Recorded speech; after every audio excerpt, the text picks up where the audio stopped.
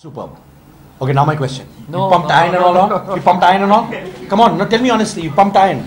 I A lot. haven't, I haven't gone to the gym in two months Why? What do you think? Why? because we've been having a very healthy diet.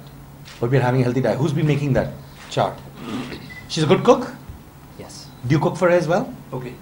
Point someone so we can- Okay, ma'am. Hira, can you sit here?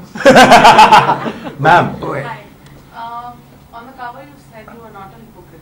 And uh, when the film released, must think, there was a lot of criticism about the content, and it still did really well. Do you think we live in a hypocritical society? Um, see, the context in which I've said I'm not a hypocrite is, is very simple. Um, there were questions about how we're going to promote this film. There were questions about what we think about the film. And right from the start, we were never uh, pretentious about what kind of a film that we've done or promoting. In that respect, right from the beginning, we have said that it's an adult film, it's a comedy film, it's not to be viewed for children. In fact, we even went on in a joke saying that couples should not watch the film together. You know, because it can make someone cringe who doesn't have a very, very uh, honest relationship.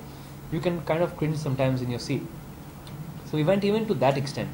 Now, having seen the outcome of the film and having seen the film achieved what it has, uh, the reason I say I'm not a hypocrite is because I never lied right from the start. I never said that, you know what, it's a clean film, it's a family film, kids can go and watch it, couples must go and watch it together, watch it with their families, watch it with their parents. I never said all that. In that context, context I've said that I am not a hypocrite. So, you know, my words have not to mislead anyone, uh, and I've spoken the truth right from the beginning. So, this is what you Hmm. need to expect, and that's what you should expect.